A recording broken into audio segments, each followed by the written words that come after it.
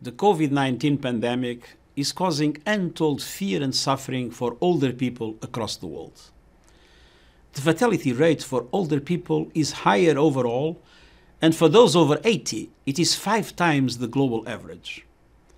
Beyond its immediate health impact, the pandemic is putting older people at greater risk of poverty, discrimination, and isolation. It is likely to have a particularly devastating impact on older people in developing countries. As an older person myself, with responsibility for an even older mother, I'm deeply concerned about the pandemic on a personal level and about its effects on our communities and societies.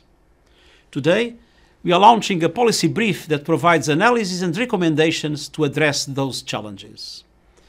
Our response to COVID 19 must respect the rights and dignity of older people. There are four main messages. First, no person, young or old, is expendable. Older people have the same rights to life and health as everyone else. Difficult decisions around life saving medical care must respect the human rights and dignity of all. Second, while physical distancing is crucial, let's not forget we are one community and we all belong to each other. We need improved social support and smarter efforts to reach older people through digital technology. That is vital to older people who may face great suffering and isolation and the lockdowns and other restrictions. Third, all social, economic, and humanitarian responses must take the needs of older people fully into account, from universal health coverage to social protection, decent work, and pensions.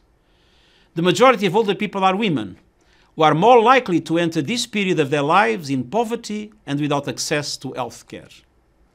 Policies must be targeted at meeting their needs. And fourth, let's not treat older people as invisible or powerless.